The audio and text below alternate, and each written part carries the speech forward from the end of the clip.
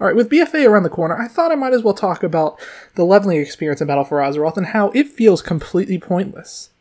What I mean by this is, in order to talk about this, I'm going to have to talk about what leveling means in a MMO. So, for in World of Warcraft, leveling in every new expansion essentially it resets the stage. It introduces you to all the new systems. It uh, it introduces you to all the new systems. It introduces the new story, and essentially serves to get you up to speed onto what's happening in the next expansion. This is, however, completely negated in Battle for Azeroth.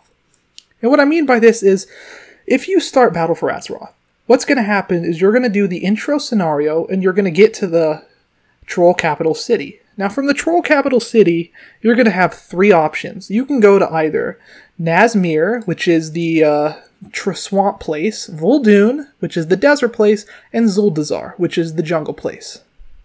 Now, from these three places, you're essentially going to pick one and start leveling. And so you're going to be killing mobs, you're going to be questing, and then you're going to get hit 111, 112, 113, 114, and you're going to realize that nothing changes. And this is a this is caused through basically level scaling. Now, level scaling essentially means that as you level up, nothing changes. There's no sense of power progression. You level up, all the enemies around you get stronger, and you don't kill things quicker. Things you were killing at level 100, you know, very difficult. You're still going to have a hard time at level 112, 113. No, there's no power progression.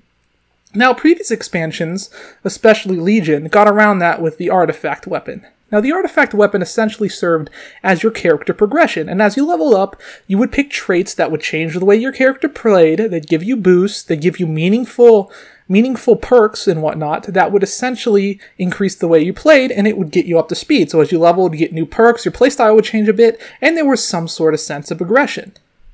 In this, the replacement is the Azerite gear. However, the traits you get from the Azerite gear are essentially meaningless.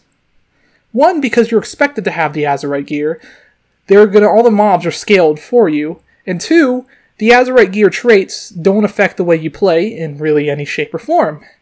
And coming from a Ret Paladin, your Azerite gear Azerite traits are essentially you get one passive. Like as you can see, everything is passive. It doesn't change the way you tra- uh, play in any way. You get one uh, you get one essentially survivability perk, and this is very, very minor, and then you get a 5 item level increase. So essentially, it's just like getting an increase in stats on your gear. And it makes no difference because as you level scale, you don't feel any more powerful, and it's just boring, if I'm being honest. Now, on top of this, this this as well can be negated. The whole fact that you know leveling up, you don't have any power progression. If you have one big overarching story, you have a goal that you need to meet before you can go in and you know do what you want to do. And I'm going to use Wrath of the Lich King as an example of what I'm talking about. So in Wrath of the Lich King, you start off, you get your foothold in Northrend, and once you get your Northrend foothold, you're essentially going around and you know you see zones in the distance that are you know they, they're like five six levels out of your reach and you go and quest through the easier zones first and as you get more power you go into the harder zones. And the whole goal is until you penetrate you know Icecrown Citadel and you're up against the final the lich king. Essentially it's a big siege on the northern on the lich king now in bfa you don't get that feeling and I don't blame Blizzard for not getting that feeling, as with the level scaling and the whole three three zones, they can't build any sort of overarching story like this. They can't build a giant end goal because they have to split the story into an arbitrary set amount to do the goal. Now you do get a bit of that overarching story in the end game, but that's once again, it's the end game. It's not actually being introduced to you while leveling. You can kind of do it with the whole, uh, you know, with the whole Warfront quests, or not the war. You can do it, kind of do it with the whole uh, horde quest where you go to Kul Tiras and set up a base, but that's actually completely instanced, and you do it once and you're completely done.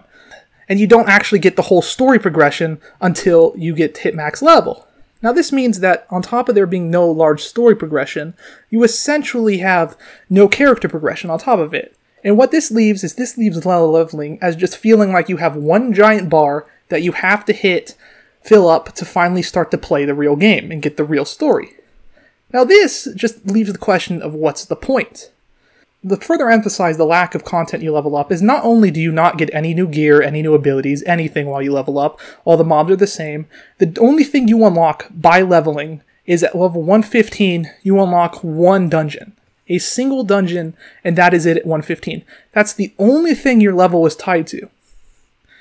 And then it just leaves the point, what's the point? And I don't, I, am not making this video to say leveling is terrible, it should be removed. Honestly, leveling is a key element of any RPG. What I'm saying is at this point, Blizzard has basically modernized World of Warcraft to such a point that there is essentially no reason for leveling. All their big storytelling is actually told in the endgame, any overarching, and their leveling storyline is actually spoiled through LFG. As you join because what I mean by this is, you know, you do a dungeon and you'll see big lore characters from your questing experience in that dungeon.